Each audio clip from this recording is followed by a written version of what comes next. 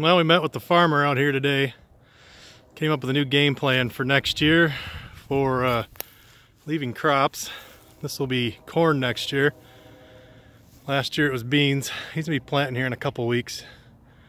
Uh, what he decided to do is kind of go even with this little point right here, all the way down here. He's gonna leave this all beans to the waterway right over there. Then on this side, even with the plane as well, back to the woods about there, he's gonna leave this in corn. Maybe I said beans earlier, corn this year. So we'll have standing corn here, standing corn here this year. We had the other hunting shack out here, we pulled that out today. Got the little one still out here for turkey hunting. Cruz has been doing a little turkey hunting. We've got the tractor back here now. We were over on the other side. Did a little plowing up top. That worked really good. Uh, we tried to start plowing where we had the plot screen last year and it was miserable. We can't get through it.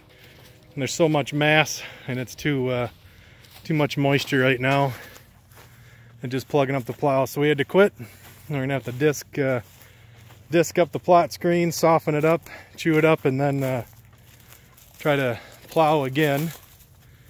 So what we're gonna do over here today, this is our brassica plot. Right here, this little corner down in here. Last year we planted, uh, boy, I think half of it was big and Beasty and the other half was uh, tall tine tubers. Uh, the deer uh, absolutely loved it this winter. And the problem is we did a really poor job of getting it in last year. We had just a ton of weeds, a bunch of thistles in it.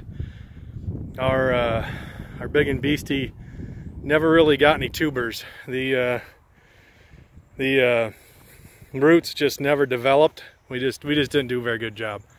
So uh, it's early, too early in the year to plant, but we are gonna dig this up this year. Now we're gonna start plowing try to get this opened up, get the uh, soil better, try to keep the weeds down. Come uh, August, we'll get this planted in uh, into a winter blend, and uh, hopefully that'll work really good. The deer, what what we did have for brassicas here last year, the deer uh, absolutely hammered it. Uh, they and the turkeys, boy, they had it all dug up all winter long. So that's the plan for now. Grandpa and Cruz are coming. We're gonna fire the tractor up and uh, get this plowed up here for now and uh, hopefully uh, we get a better uh, better crop of uh, brassicas this year.